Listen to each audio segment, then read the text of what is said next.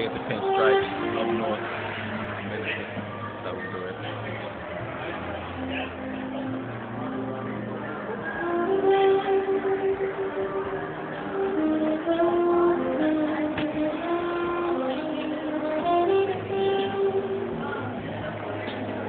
Thank